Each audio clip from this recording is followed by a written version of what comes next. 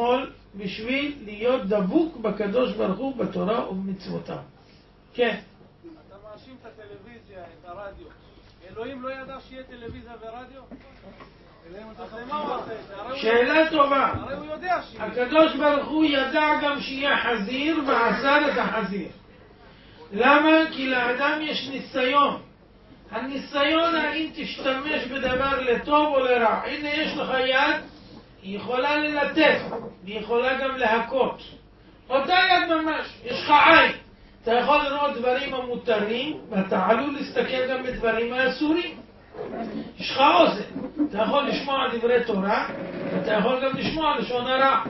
פירושו של דבר, זה הניסיון. נותנים לך את הכלים, תשתמש איתם לטוב. ואם השני ישתמש איתם לרע, יש לך את האפשרות. העין שלך ברשותך, תעצום. האוזן ברשותך, תסתום. אתה נמצא בניסיון, הם משתמשים בזה לרע, אז זה לא אומר שאתה צריך להיות מחויב וכפוי. יש לך את הבחירה. זאת אומרת, כל אחד ואחד צריך לעמוד בניסיון. היו יכולים להשתמש בזה לטוב. אפשר היה לבשר את הגאולה דרכם. אפשר היה להודיע לכל קצווי העולם. הם לא רוצים. הם בחרו ברע. אתה תבחר בטוב. אתה רואה אדם שהוא לוקח יין. יין זה טוב. יין מקדשים עליו. יין יש עליו ברכה מיוחדת, בורא פרי הגפן. יין ישמח לבב אנוש. אבל יין גם ממסטל. אם לוקחים יותר מהמידה, אז בדיוק תוצאה הפוכה.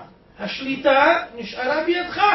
אתה תחליט כמה להשתמש וכמה לא, מה כן ומה לא. ואם אתה יודע שיין מזיק אותך אפילו במידה מועטת, אל תיגע בו בכלל. אל תראה יין כי התאדם. אתה צריך לדעת, אני לא שייך אליי הדבר הזה. זה הניסיון שלנו. כן.